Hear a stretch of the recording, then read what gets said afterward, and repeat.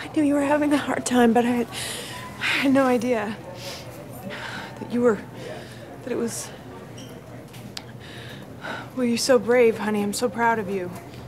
Really? Um, because I was actually having second thoughts. Oh no, hon. I think um, you know, the doctor said they need you to stay here for a couple days for um, observation. I think that's a, a real good idea.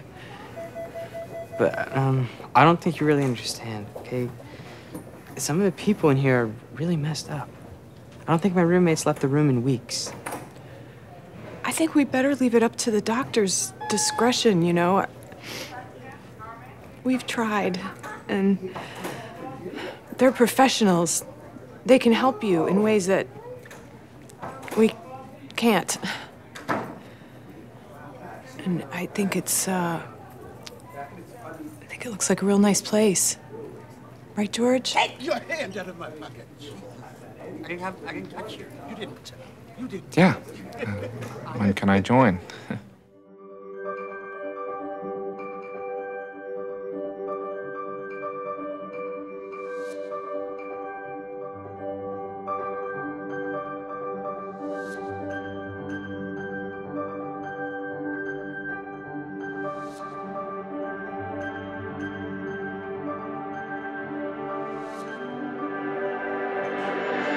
you